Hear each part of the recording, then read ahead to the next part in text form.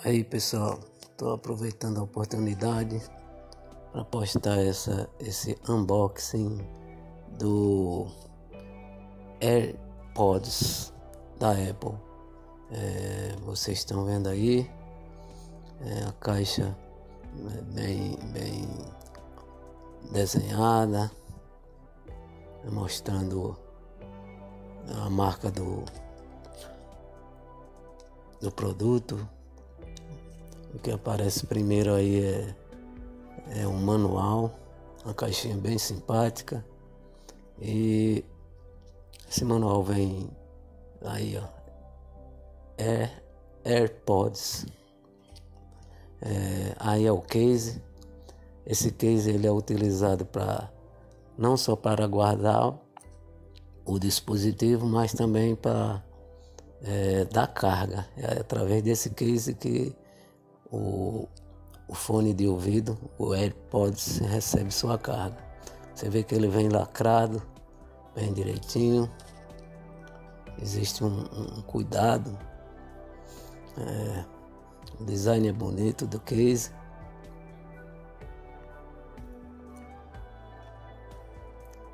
É, vale salientar é, que, olha aí o modelo, o design do, do fone de ouvido, aí ele tem uma mensagem, é, tem algo escrito aí que diz que é, desenhado, é, desenhado pela Apple na Califórnia e montado na China. Isso em inglês, né? É, tá aí o, o, o fone de ouvido, o AirPod propriamente dito. E quando você tira do case, o case já demonstra aí um indicador de verde, dizendo que ele está com bateria, ele tem carga, ok?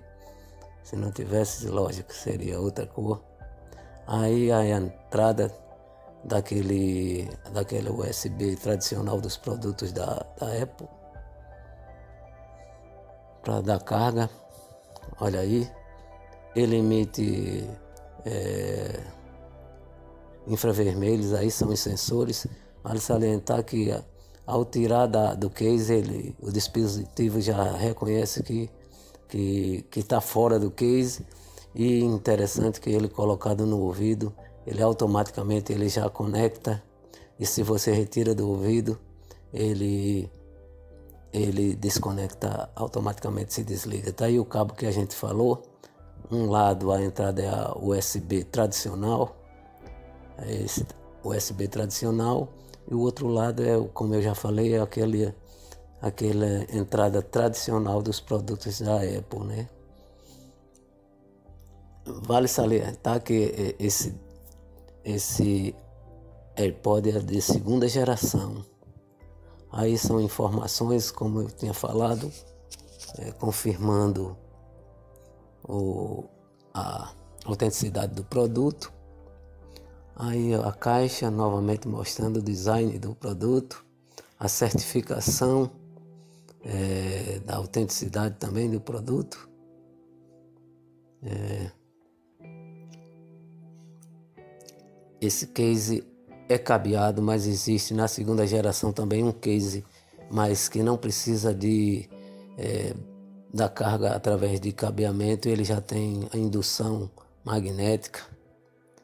É, aí novamente a exposição do produto, o design. E aí mostra que o da segunda geração o indicador é dentro do case a luzinha já do no caso aí do AirPods Pro, que é a terceira geração, ele o indicador não é dentro, é na frente do case, fica fora do case, até porque a carga é dada é, por indução magnética, ok? E é isso. Se vocês gostaram, dá um like, compartilha, se inscreve no canal para a gente postar novos vídeos.